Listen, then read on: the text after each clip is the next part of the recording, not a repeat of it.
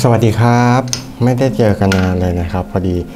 ช่วงหลังไปทำช่องเกี่ยวกับการปลูกต้นไม้นะครับหลายๆคนน่าจะเห็นแล้วนะครับ ใครที่ไม่เห็นก็ไปลองหากันดูแล้วกันนะครับ โอเค ก็ถ้าหลายๆคนจำได้นะครับ ผมจะมีนาฬิกาตัวหนึ่งนะครับ ที่เคยรีวิวไปนะครับ เป็น Huawei Watch GT2 นะครับ ซึ่งใช้มานานแล้วแหละนะครับ แล้วปรากฏว่าช่วงหลังเนี่ยนะครับมันมีปัญหาในส่วนของหน้าจอทัชสกรีนนะครับเนี่ย คือมันทัชไม่ติดนะครับ ก็ผมก็ยังใช้อยู่นะครับ เพราะว่าไม่ได้มีประเด็นอะไรเกี่ยวกับการที่มันทัชสกรีนไม่ติดนะครับ แต่ว่าปัญหาของมันเกิดขึ้นก็คือว่า พอมันเป็นลักษณะแบบนี้เรา คือผมซื้อโทรศัพท์ใหม่นะครับแล้วพอมันทัชสกรีนไม่ติดเนี่ย ผมไม่สามารถที่จะเชื่อมต่อมันกับโทรศัพท์เครื่องใหม่ได้นะครับ ก็ยังใช้อยู่อีกสักพักหนึ่งนะครับ จนมันเริ่มมีปัญหาเกี่ยวกับเรื่องของเวลานะครับ คือถ้าใครใช้ไอ้นาฬิกาดิจิตอลตามบ้านหรืออะไรพวกนี้อยู่นะครับ จะรู้ว่าเวลาแบตมันอ่อนหรืออะไรพวกนี้นะครับ มันหรือใช้ไปนานๆนะครับ ที่ไม่มีการเชื่อมต่ออะไรพวกนี้เลยนะครับ มันจะทำให้เวลามันเพี้ยนไปนะครับ อย่างเช่นเนี่ยนะครับ ผมไม่ได้เชื่อมต่อ เนี่ยนะครับ 11โมง42 แต่ตอนเนี้ยเนี่ย 11โมง38 นะครับ คือเวลามันจะเพี้ยนไปนะครับ แล้วมันก็จะเพี้ยนเยอะขึ้นเรื่อยๆนะครับ เมื่อเมื่อไม่มีการเชื่อมต่ออินเทอร์เน็ตนะครับ มันก็เลยทำให้ผมมีปัญหาละ ผมใช้โทรศัพท์ใช้นาฬิกาในการดูเวลาได้ไม่ได้แล้วแหละนะครับ ก็เลยต้องไปหาโทรนาฬิกาตัวใหม่มานะครับ ซึ่งก็มองหาอยู่นานจะซื้อ แบบเดิมๆนะครับ มันก็ราคาสูงนะครับตัวผมเวยค่อนข้างจะราคาสูงนะครับ ผมไม่แน่ใจตัวใหม่กี่บาทนะครับแล้วก็กลัวว่าจะมีปัญหาแบบเดิมอีกนะครับ คือเนี่ยจะเห็นขอบนะครับ คือขอบเนี่ยมันเริ่มล่อนไปแล้วแรก ๆ เลยก็เริ่มเป็นเลยนะครับ แล้วก็มีปัญหาเรื่องของการทัชสกรีนนี่แหละนะครับ ก็เลยอะหาซื้อใหม่แล้วกันนะครับ ก็ลองเปลี่ยนดูนะครับ ก็มาเจอเจ้าตัวนี้นะครับนี่ m i b r o Watch GS นะครับแจ้งราคาเลยนะครับ2,500นะครับ ราคาเต็มนะครับ2,590 หรือไงเนี่ยนะครับ ตัวนี้จะมี GPS ในตัวนะครับ แล้วก็นี่นะครับ AMOLED HD Display นะครับ GPS Satellite Positioning นะครับ Dual Core Master Chip กันน้ำได้ 5 เมตรนะครับ 5 ATM เอ่อไม่ใช่ 5 เมตรสิ 5 ATM นะครับ เอ่อแบตเตอรี่ไลฟ์24 วันนะครับ ซึ่งในความเป็นจริงเนี่ยก็ ผมว่าน่าจะอยู่ประมาณอาทิตย์หนึ่งนะครับ 70 Sport Mode นะครับ Always On Display นะครับ ก็โชว์จริง ๆ นะครับ โชว์เวลาแล้วก็ Dynamic Heart Rate นะครับ ในกล่องเขาเนี่ยเป็นกล่องแค่นี้เองนะครับ ก็จะมีสายชาร์จมาให้หนึ่งเส้นนะครับ นี่สายชาร์จเป็นแบบนี้นะครับ เป็นแบบก็ถ้าใครใช้ไอนาฬิกาตัวเล็กอะไรอยู่พวกนั้นนะครับ ก็น่าจะเคยเห็นสายชาร์จที่เป็นลักษณะแบบนี้นะครับ ทีนี้มาดูที่ตัวนาฬิกานะครับ ค่อนเปิดมาทีแรกค่อนข้างชอบเลยนะครับ คือลักษณะของนาฬิกานะครับ ก็คือจะมีวงแหวนรอบนอกเนี่ยนะครับ ซึ่งนูนกว่าหน้าปัดนะครับ มันก็จะทำให้ความเสี่ยงในการข่วนขูดอะไรพวกนี้มันที่หน้าจอมันน้อยลงนะครับ แล้วก็จะมีปุ่ม home นะครับกับปุ่มสปอร์ตปุ่มนี้คือปุ่ม custom นะครับ เราสามารถ custom ให้เป็นอะไรก็ได้นะครับ ลักษณะของสายนะครับเป็นสายยาง นิ่มนะครับนิ่มเมื่อเทียบกับหัวเว่ยนะครับอันนี้สาย original เลยจะแข็งมากแข็งกว่านะครับ ทีนี้มาลองดูน้ำหนักตัวนี้หน้าจออยู่ที่ 47 mm นะครับ มาลองดูน้ำหนักนะ56.3 กรัมนะครับ ในขณะที่เจ้า Watch GT นะครับ มันจะหนักอยู่ที่ 70 กว่ากรัมนะครับ เราอาจจะรู้สึกว่า 20 กรัมมันไม่ได้ต่างนะครับ แต่ว่าจับแล้วมันรู้สึกนะครับ อันนี้รู้สึกจริงๆ แล้วก็ที่สำคัญคือออก่อนหน้านี้ผมไม่เคยใช้ไอ้อันนี้ใส่นอนเลยเพราะผมใส่นอนไม่ได้ มันอึดอัดมันรู้สึก มันรู้สึกว่าใส่แล้วมันก็จะไม่ค่อยสบายตัวสักเท่าไหร่แต่ว่าเมื่อคืนนี้นะครับ ผมได้ลองใส่อันนี้นอนดู ปรากฏว่าโอเคนะครับ คือด้วยที่สายเขานิ่มนะครับ แล้วก็ตัว ตัวนาฬิกาเองน้ำหนักเบานะครับ มันก็เลยไม่ได้รู้สึกตะขิดตะควงอะไรเวลานอนสักเท่าไหร่ก็สามารถใส่นอนได้นะครับ แล้วก็เจ้าตัวนี้นะครับ หน้าจอบอกเลยว่าหน้าจอลื่นมากนะครับ ลื่นปื๊ดเลยลื่นนี่หมายถึงความลื่นของกระจกนะครับ ก็คืออพูดง่ายๆคือเอามดมาเดินมดลื่นนะครับ ไม่ใช่การลื่นไหลของการทัชสกรีนนะครับ ในส่วนของการ touch screen เนี่ยก็ลื่นนะครับ ลื่นไหลเลยทีเดียว ดีเลยทีเดียวนะครับเนี่ย ก็ตามมือตามนิ้วอยู่นะครับ ทีนี้เนี่ยจุดสังเกตนะครับคือ เจ้าตัวนี้ราคา 2,000 กว่าบาทนะครับ material อะไรพวกนี้ก็อาจจะไม่ได้ดูดีมากนะครับแล้วก็ปุ่มกดเองเนี่ยผมยังมีความรู้สึกว่ามันก๊องแก๊งนิดหนึ่งนะครับ ก็คือการสัมผัสเนี่ยมันจะไม่ได้แบบว่ากระชับปุ่มแบบเอ่อ อาจจะเป็นเปรียบเทียบเหมือนกับเรามี เครื่องใช้ไฟฟ้าอื่นก็ได้นะครับ ที่มีของราคาแพงกับของราคาถูกนะครับ การสัมผัสการกดการความรู้สึกฟีลลิ่งของการกดสัมผัสอะไรพวกนี้มันจะแตกต่างกัน อันนี้ปุ่มมันก็จะรู้สึกแบบว่า เหมือนมันหลวมอะเหมือนมันไม่ได้แบบว่าทำมาฟิตพอดีขนาดนั้นมันก็จะรู้สึกกองแกงนิดนึงแต่ก็ไม่ได้แบบว่าทำให้มันแบบว่า มีความเสี่ยงที่จะพังง่ายหรืออะไรพวกนี้นะครับ แต่ว่าผมแค่รู้สึกว่าเนี่ยเรื่องของการประกอบตรงนี้มันมันเนี่ยมันสัมพันธ์แล้วมันยังมีการโยกมีการอะไรพวกนี้อยู่นะครับ อันนี้เป็นปุ่มกดนะครับ ก็จริงๆก็จะเหมือนกับพวกนี้แต่ว่าอันเนี้ยสัมผัสคือมันจะแน่นประมาณนั้นแล้วกันนะครับผมได้ลองใช้มาประมาณครึ่งวันแล้วก็เมื่อคืนนี้นะครับ ก็ โอเคไม่ได้มีประเด็นอะไรนะครับ ในส่วนของการใช้งานเนี่ยก็คืออตัวนี้นะครับแอปพลิเคชันเขามี เข็มทิศมาให้เรานะครับ มีคาล endar มีปฏิทินมาให้เรา มีเครื่องคิดเลขมาให้เราด้วยนะครับ กดก็กดได้นะครับ ไม่ไม่ได้อะไรมากก็เวลาฉุกเฉินถ้าไป โดยไม่มีมือถืออยากใช้เครื่องคิดเลขก็มีเครื่องคิดเลขให้ใช้ล้วกันนะครับ ตัวนี้ไม่มีลำโพงให้นะครับ ฉะนั้นเนี่ยเขาจะไม่สามารถเปิดเพลงได้ แต่ว่าเขาจะสามารถใช้คอนโทรลเพลงที่เราเปิดอยู่ในมือถือเราได้นะครับ อย่างเช่นเดี๋ยวผมอขออนุญาตทดลองแล้วกัน ผมก็ยังไม่ได้ลองนะ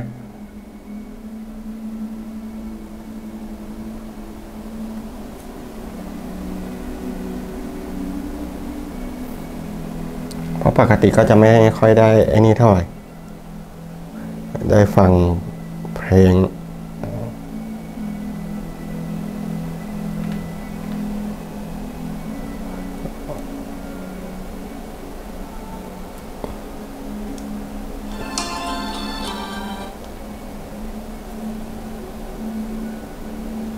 เนี่ยนะครับก็สามารถคอนโทรลได้ ผมไม่เปิดเสียงนะเดี๋ยวติดนะครับจะเห็นว่ามัน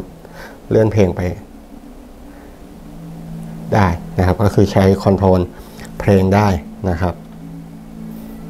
สามารถที่จะหาโทรศัพท์ได้นะครับ ก็เมื่อกดเข้ามาก็จะมีเสียงดังที่โทรศัพท์ เราสามารถที่จะใช้โทรศัพท์ หานาฬิกาได้นะครับ อันนี้แนะนำให้ไปเซตการสั่นให้แรงนิดนึงนะครับ เพื่อให้มันอะไรสั่นแรงๆเนี่ยนะครับ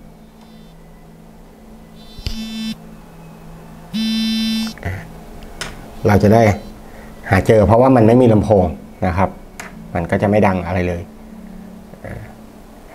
อันนี้เป็นในส่วนของ workout record นะครับ ก็อันนี้เมื่อวานนะครับ ผมได้ทดลอง GPS นะครับ ซึ่ง GPS ทำงานค่อนข้างไวนะ ก็คืออขี่มอเตอร์ไซค์แล้วกันนะครับ ทดลอง GPS นี่นะครับก็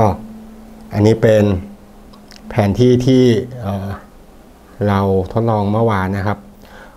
ก็ค่อนข้างตรงนะครับ จากบ้านผมเนี่ยก็วิ่งไม่ได้มีการออกนอกเส้นทางเลยทั้งสิ้นนะครับ อยู่ในแมปเลยนะโอเคเลยทีเดียวนะครับ ทีนี้ ในส่วนของการเชื่อมต่อนะครับ ตัวนี้แนะนำเลยนะครับ ทีแรกผมก็งงว่ามันทำไมนะครับ ก็คือว่าเเมื่อเปิดไอเจ้านาฬิกาขึ้นมานะครับ เขาจะมี QR code ขึ้นมาให้ นะครับให้เราโหลดแอป m i b o Fit นะครับแล้วสแกน QR code ตรงนั้นเพื่อเชื่อมต่อนะครับ ไม่สามารถที่จะเชื่อมต่อผ่านบลูทูธปกติได้นะครับอย่างเงี้ยนะครับให้ดูนะครับเขาจะไม่มี list อยู่ในบลูทูธนี้เลยผมก็ไม่รู้ว่าทำไมนะครับ คือไม่มีลิสต์บลูทูธเชื่อมต่ออยู่ในนี้นะครับ สแกนหาไม่เจอนะก็นั่นแหละ ต้องไปเชื่อมต่อผ่านในแอปนะครับ ก็มีสแกน QR code อะไรตรงนี้นะครับ ก็เข้าไปทำก็งงๆเหมือนกัน แล้วก็ ในส่วนของ w a t f a c e นะครับ ก็มีให้ดาวน์โหลดฟรีเยอะนะครับ ผมยังไม่เจอแบบเสียเงินนะ มันมีเยอะมากนะครับ ยังยังโหลดไปได้ไม่ไม่ไม่ไม่เยอะนะครับ ยังเห็นได้ไม่เยอะ แล้วก็มันก็จะมีเป็นภาษาจีนอยู่ข้างล่างนะ ตรงนี้นิดนึงนะครับ น่าจะหมดทั้งมั้งประมาณนี้นะครับ ก็ไม่ได้เยอะมากนะครับแล้วก็เอาจริงๆก็คืออผมว่าที่สวยๆที่จะตรงกับความชอบของเราแต่ละคนแล้วกัน มีไม่เยอะนะครับแล้วก็จะมีอย่างอันเนี้ยก็จะเป็นอันที่หลาย ๆ คนน่าจะเคยคุ้นเคยกับเห็นกันอยู่นะครับอะไรพวกนี้นะครับแล้วก็อ่าเดี๋ยวผมลองโหลดให้ดูสักอันหนึ่งนะครับ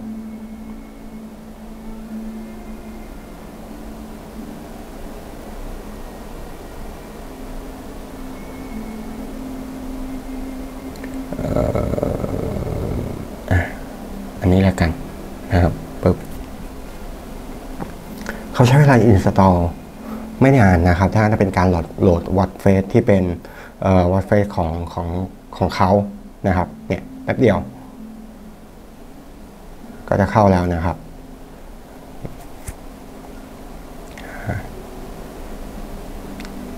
เนี่ยก็จะขึ้นมาแล้วนะครับ ทีนี้มันก็จะสามารถแอด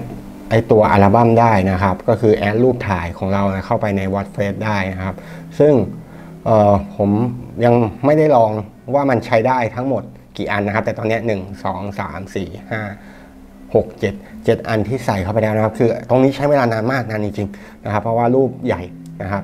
มันก็จะขึ้นมาอยู่นี่นะครับ การ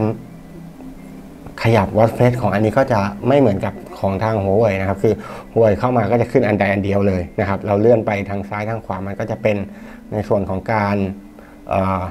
แจ้งเตือนหรือเป็นโหมดต่างๆนะครับ แต่เนี้ยมันเลื่อนไปมันขยับวอตเฟสต่างๆนะครับ ในส่วนรูปของเราเนี่ยนะครับที่เข้าไปเนี่ยก็คือใช้การกด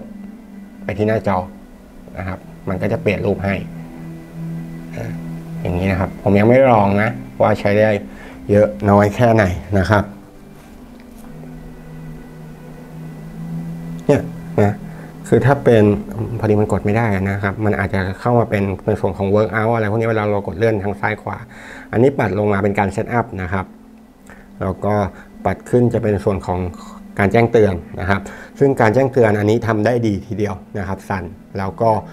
อ่านข้อความภาษาไทยได้ชัดเจน ไม่มีปัญหาเรื่องตัวอักษรใดๆทั้งสิ้นนะครับ ในส่วนปุ่มนะครับ ปุ่มนี้ก็จะเป็นการ เข้ามาในส่วนของหน้าแอปต่างๆนะครับ ปุ่มด้านล่างเนี่ยเราสามารถคัดซ่อมได้ณตอนนี้มันก็จะเป็นในส่วนของการโหมดกีฬาต่างๆ ให้เราเลือกนะครับนี่นะครับ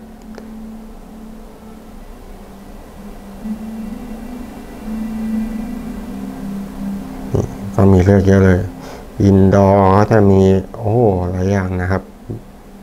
ซิทอัพ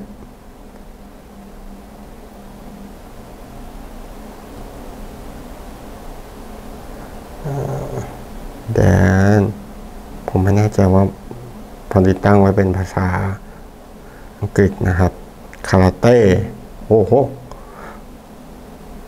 ส่วนของการ back บางทีมันต้องขึ้นเลื่อนขึ้นไปนะครับ บอลจะมีบาสเกตบอล ฟุตบอล มีปิงปองด้วยเว้ย นี่ผมตีปิงปองอยู่ อยากรู้เหมือนกันมันจะเป็นยังไง แล้วเราตีปิงปองมือขวา เราใส่นาฬิกามือซ้าย โอเค ประมาณนี้ก็สามารถเพิ่มเข้าไปได้นะครับ ทีนี้มีข้อสังเกตอันนึงนะ ซึ่งผมไม่เข้าใจเขาเหมือนกันนะครับ ในส่วนของ notification นะครับ ซึ่ง noti เนี่ยมันสามารถแจ้งเตือนได้ทุกแอปเลยนะครับ แต่ผมจะเจอปัญหากับแอปนี้นะครับ YouTube ซึ่งไม่ งงงงเลยทีเดียวนะครับโอเคเดี๋ยวนะครับผมปิดไว้นะครับอ่าผมเปิด YouTube เปิดการแจ้งเตือน YouTube นะครับ ซึ่งปกติการแจ้งเตือนของมันก็จะมีการแจ้งเตือนประเภทที่แบบว่าวิดีโอใหม่อะไรพวกนี้ที่มีการแจ้งเตือนนะครับ แต่สิ่งที่เกิดขึ้นกับเจ้าตัวนี้นะครับ ก็คืออตัวนี้ผมใช้เป็น YouTube Premium นะครับอะนี่นะครับผมเปิด Galaxy S23 นะครับ เห็นไหมมันขึ้นเตือนมานะครับ ก็ไม่รู้ว่ามันต้องการบอกอะไรเรานะครับ คือ YouTube Premium เนี่ยเวลาเราปิดจอเลยพวกนี้มันจะมันจะเล่นอยู่ในแบ็กกราวด์ได้นะครับ อืมก็นั่นแหละ ก็ไม่รู้ว่ามันจะจะบอกตั้งใจจะบอกอะไรเรานะครับ ก็เลยต้องปิดไปนะครับ ทีนี้อี อีกอันนึงนะครับที่เคยเจอปัญหาอ่านี่นะครับก็มีเมสเซจเข้ามาอย่างเงี้ยก็สามารถที่จะเข้ามาดูมันเป็นการแจ้งเตือนหลายแบบนะครับนี่ให้ดูภาษาที่ขึ้นมานะครับ มันอ่านได้ปกติเลยเนี่ยนะไม่ได้มีตัวอะไรพวกนี้ที่แบบว่าแปลกๆนะครับ แต่ว่าจะโชว์ได้แค่ บางส่วนไม่ได้โชว์ทั้งหมดนะที่ผมมีปัญหาอีกอันนึงครับ เป็นแอปกล้องวงจรปิดตัว iPhone ตัวนี้นะครับ ที่ผมใช้กับไอ้เจ้ากล้องวงจรปิดที่บ้านอยู่นะครับ ก็คือ ก่อนหน้านี้เปิดแจ้งเตือนไว้นะครับ ซึ่งเวลาใครเดินผ่านมีอะไรขยับพวกนี้มันก็จะแจ้งเตือนมาที่มือถือเราใช่ไหมครับ ซึ่งก็โอเคไม่มีปัญหาอะไรนะครับ มันก็แจ้งเตือนเข้านาฬิกาด้วย แต่ว่าสิ่งที่เจอก็คือหลังจากผมปิดไป มันก็ยังเตือนอยู่ทั้งๆทที่อีนี่ไม่เตือนด้วยนะ แต่อีนี่เตือนนะครับ ก็ก็ไม่รู้ว่าเกิดอะไรขึ้นนะครับ ก็ก็ปิดไปละกันนะครับก็ทำการพอปิดแล้วรีสตาร์ทไอนาฬิกาใหม่ก็ใช้ได้นะครับมีอันนี้นะครับสามารถใช้ถ่ายโฟโต้ได้ถ่ายรูปได้นะครับ โดยเขาจะสั่ง นี่นะครับ กดถ่ายจากที่นี่นี่นะครับ เสร็จแล้ว ซึ่งมันเป็นการถ่ายภาพผ่านแอปของ m i b o Fit นะครับ ไม่ใช่การสั่งถ่ายรูปในแอปกล้องปกตินะครับ เนี่ย พอออกมันก็ออกไป แค่นั้นเองนะครับเออโอเค การใช้แอปอะไรพวกนี้ทุกอย่างดูดีปกติหมดนะครับ ก็ไม่ได้มี ประเด็นอะไรเลยนะครับก็เนี่ยนะครับก็น่าจะเป็นทั้งหมดของเจ้าสมาร์ทวอทตัวนี้นะครับ Watch GS นะครับ Mibro Watch GS ในราคา 2,005นะครับแต่ผมซื้อมาเนี่ยในราคา 2,001นะครับก็จะมีส่วนลดต่างๆนะครับทำส่วนลดของของช้อปปี้ส่วนลดของร้านค้านะครับ คือก่อนหน้านี้เล็งไว้นานแล้วแหละ แต่ว่า มันเป็นการ pre-order ก็เลยไม่ได้ซื้อนะครับ รอจนเขามีของสต็อกแล้วก็เลยสั่งเข้ามานะครับก็โอเคก็วันเดียวก็ได้ของนะครับ ก็เป็นจากร้านออฟฟิเชียลนี่แหละนะครับ ผมแอบเข้าไปดูก็คือว่ามันมีโค้ดอะไรสักอย่างหนึ่งขึ้นมาไม่รู้นะครับ ตอนนี้เหลือประมาณพันเก้านะครับ ลองไปกดเข้าไปดูแล้วกันนะครับอ๋อในส่วนของการชาร์จนะครับ สายชาร์จเป็นแบบนี้ เก็บดีๆนะ หายง่าย ๆเลยนะครับ ก็ไม่ต้องห่วงในส่วนของการใส่ผิดด้านนะครับ ก็คือว่าเขาก็เป็นแม่เหล็กอะ่ะซึ่งถ้าเราใส่ผิดด้าน มันก็จะไม่เข้าเนี่ยนะครับเนี่ยมันก็ไม่เข้า ก็คือต้องใส่ถูกด้านแล้วมันถึงจะเข้าเข้าล็อกของมันนะครับ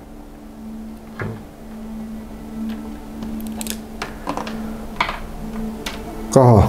ยังเพิ่งใช้มาได้ไม่นานนะครับ ก็ ก็ก็ถือว่าโอเคนะ ผมว่าในราคา 2,000 กับสิ่งที่เราได้นะครับ คุ้ม อันนี้เรียกว่าคุ้มเลย แต่จะไปหวังให้มันแบบว่าในราคา 7 8 พันแบบนี้มีลำโพงสามารถเปิดเพลงฟังได้ สามารถสั่งงานได้ สามารถอะไรพวกนี้ได้นี่ก็คงคงไม่ใช่นะครับ แต่ว่าในราคาเนี้ยผมว่าคุ้มเกินคุ้มเลยนะครับ โอเค คลิปค่อนข้างนานทีเดียวนะครับ ไปดีกว่า สวัสดีครับ